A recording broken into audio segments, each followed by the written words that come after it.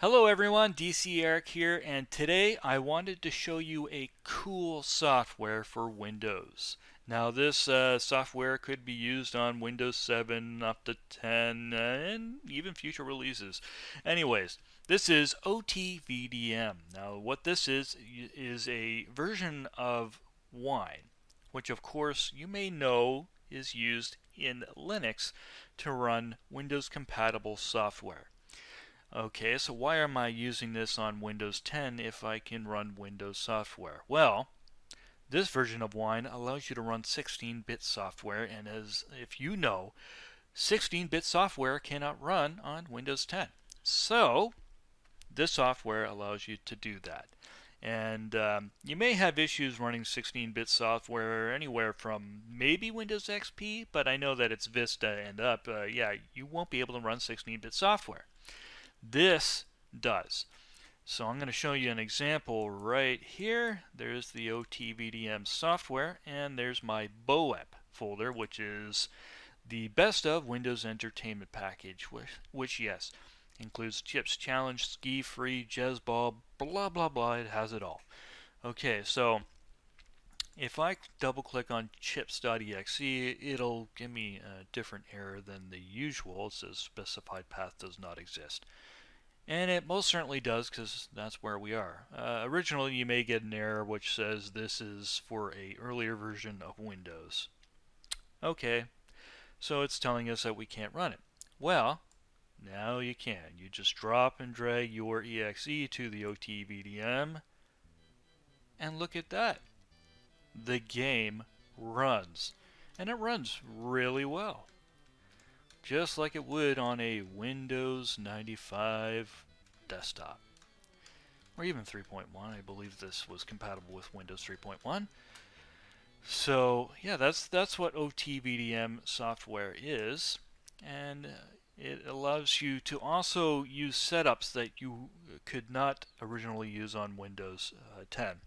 And for example, I think uh, Rayman 2 uses a 16-bit um, setup. So that could not run on Windows 10 originally, but with this software, you will be able to do that.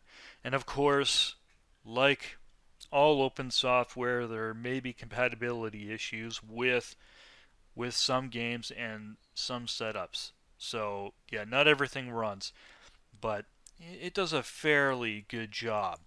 Uh, the main issue with this software is that it runs that it sorry this is a pre-release and uh, the last release was in March 8th of 2019 so that was a year and a few months. And so I'm not sure if they're planning on releasing anything new and maybe there is other software that allows you to do this but nonetheless being a pre-release it's not too bad it actually allows you to run some certain games that you were not able to do before. And so yes, the latest release is 0.7.0 and again released March 8th of 2019. And there's the website as well, which I will include at the bottom of this video. So if you want to get some nostalgia and play some great 16-bit software, you can.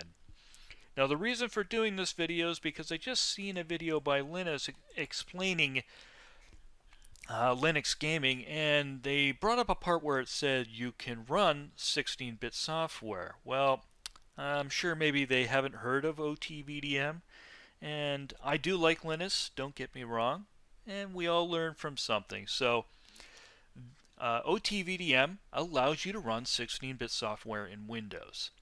Um, Linux uh, gaming as of today, I think, might be a lot easier to get out of the box.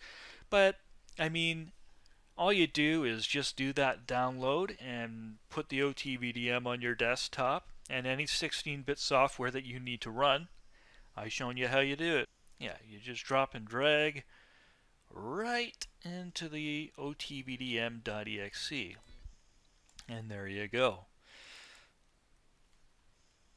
Now, uh, if you want an even uh, easier way, uh, you could use the OTVDM W, and there's the BOEP folder right in there.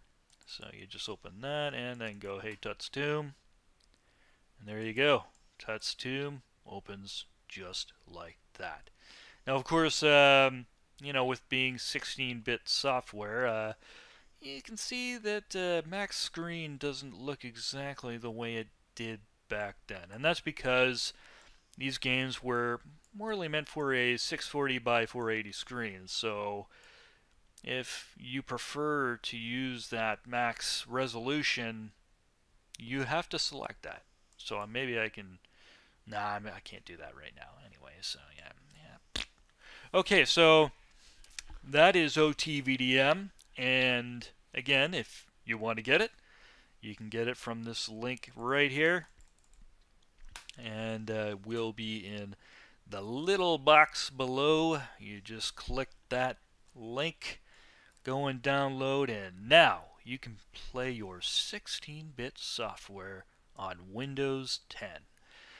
Now, I know I only release videos once in a while, uh, but I hope you liked this video. Give me a thumbs up, leave a comment. Um, yeah, and uh, I will have a video again in the near future. Thank you, and goodbye.